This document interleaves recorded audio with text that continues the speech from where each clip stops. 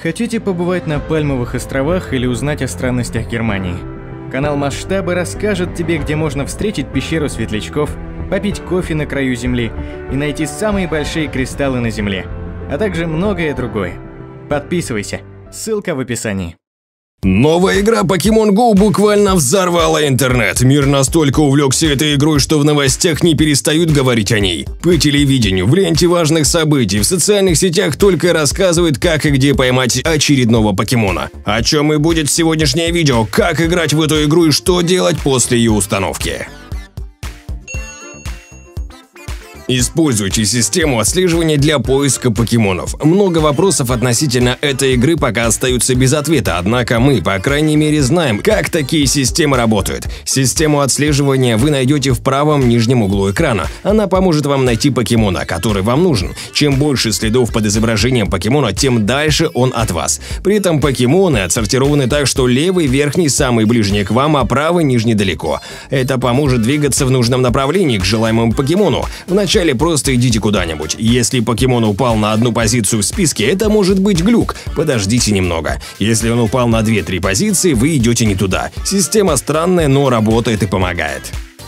Ловля покемонов. В начале игры ловля покемонов будет вашим главнейшим занятием, поэтому крайне важно ознакомиться с парочкой советов, которые помогут в этом нелегком деле, особенно если у вас мало покеболов. Кольцо вокруг покемона. Это не только индикатор времени броска, но и показатель сложности ловли этого покемона. Покемона с зеленым кольцом поймать довольно просто, а желтого потруднее. Но все-таки можно, а с оранжевыми и красными все не так просто. И возможно вам придется использовать покебол получше или потратить кучу обычных покеболов в попытке поймать добычу. Кидать покебол нужно, когда кольцо сужается до минимума, тогда шанс поймать гораздо выше. Для точности броска рекомендуется использовать небольшой, а указательный палец.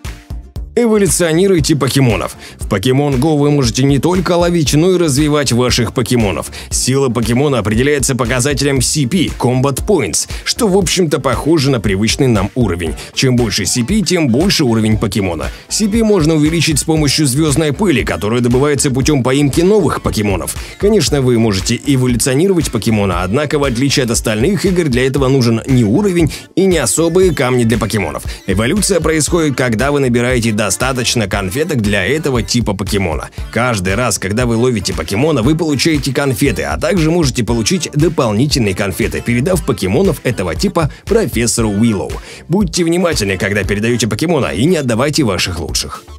Передача данных и использование батареи. Pokemon Go, конечно, крутая игра, но ужасно расходует батарею. К счастью, в игре есть встроенная функция экономии батареи. При этом основные функции, такие как GPS или уведомления о появлении рядом покемонов, будут работать, однако батарея будет расходоваться меньше. Что касается использования и передачи данных, игра передает около 10 мегабайтов в час, что будет честным довольно мало, однако это тоже стоит учитывать, если у вас есть ограничение трафика.